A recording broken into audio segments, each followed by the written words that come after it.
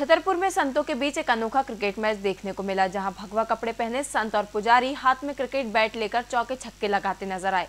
संतों पुजारियों के बीच हुए इस क्रिकेट मैच का लोगों ने जमकर लुफ्त उठाया। पुजारियों और संतों को मंदिरों में पूजा पाठ करते हुए तो सभी ने देखा होगा, लेकिन छतरपुर में संतों और पुजारियों का अनोखा रूप देखने को मिला जब वे हाथों में बैट बॉल लिए चौके छक्के लगाते नज़र आए। दरअसल मौका था कांग्रेस विधायक आलोक चतुर्वेदी द्वारा कराए जा रहे क्रिकेट टूर्नामेंट का, जो मंदिर के संतों और पुजारियों के बीच रखा गया था। इस दौरान भगवाधारी संत कर्मकांड छोड़कर हाथ में क्रिकेट का बैट और गेंद लिए नज़र आए। संतों के बीच हुए इस क्रिकेट मैच में लोगों ने संतों के चौके छक्कों के बीच जमकर तालियाँ बजाकर क्रिकेट का आनंद लिया। वहीं संत भी क्रिकेट के मैदान में हाथों में गेंद बल्ला लेकर काफ़ी खुश देखे गए। परंपरा रामाय राम भद्राय रामचंद्राय से रघुनाथाय नाथाय श्री सीताय बोलो श्री चौपरिया सरकार। बोलो श्री संकट मोचन हनुमान जी महाराज। आज इस खेल ग्राम में हमारे संतों के संतों के बीच जो संतों से ही मुकाबला हो रहा है। बहुत सुंदर ये संदेश जाएगा। पूरे देश, विदेश, पूरे प्रदेश में हर जगह हमारे संत भी मैदान में उतरे हैं आज क्रिकेट खेलने के लिए। और बहुत अच्छा अभी एक पारी खेल चुकी है जो चौपरिया सरकार की टीम। और उसमें अच्छी प्रदर्शन किया सब लोगों ने। और उस टीम के इक्यानवे रन बने हुए हैं। और अब दूसरी पारी उतर चुकी है मैदान पे, खेल शुरू होने वाला है।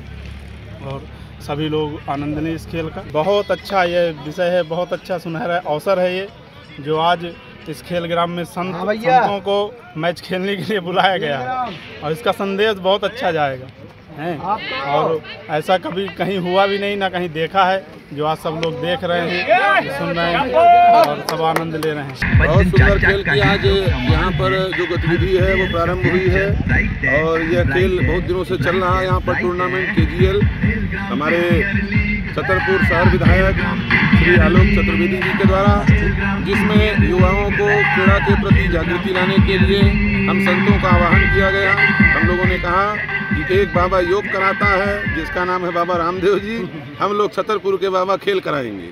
इसलिए सब संकट मोचन सरकार और चौपरिया सरकार के दो टीमों में संत और ब्राह्मण वेद पाठी लोग यहाँ पर खेलने के लिए आए हैं। ऐसे खेल हमेशा होने चाहिए और भारत के हर जिला मुख्यालय में होना चाहिए हर विधानसभा क्षेत्र में होना चाहिए और आलोक चतुर्वेदी जी से प्रेरणा लेके भारत के जितने साढ़े चार हज़ार विधायक हैं चार हज़ार विधायक वो सबको ऐसा अपने अपने विधानसभा क्षेत्र में कराना चाहिए जिससे युवाओं के अंदर खेल और शरीर में हिष्ट पुष्ट और तंदुरुस्ती का संचार हो सके। संस्कृत में यहाँ पर बहुत सुंदर कार्य हो रहा है कि जो कमेंट्री हो रही है उद्घोषणा मंच की वह देववाणी में हो रही है संस्कृत में। इससे संस्कृत के प्रति हमारे युवाओं में और जनता में फिर से एक चाव और भाव जगेगा।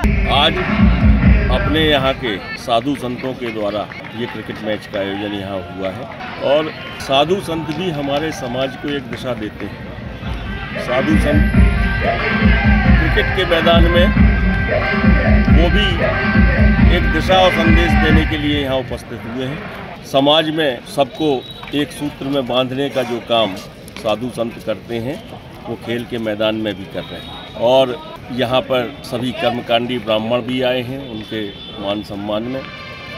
और एक वातावरण आपने देखा है कि संस्कृत में ही कमेंट्री हो रही है। आज महर्षि आश्रम के बच्चों ने भी यहाँ इस आयोजन में भाग लिया है, वो भी क्रिकेट खेले हैं। और इस मैदान में केवल युवाओं की सहभागिता नहीं रही है, इस मैदान में राम नाम मंडल के द्वारा भी और पेंशनर्स लोगों के द्वारा भी क्रिकेट का लाभ उठाया गया क्रिकेट खेला गया।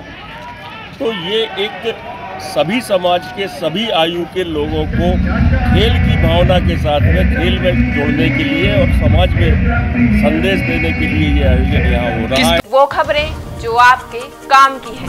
वो खबरें जो आपके लिए ज़रूरी है। हर आम और खास से जुड़े मसले। हर मसले का सटीक विश्लेषण। हम करते हैं सत्य का अन्वेषण।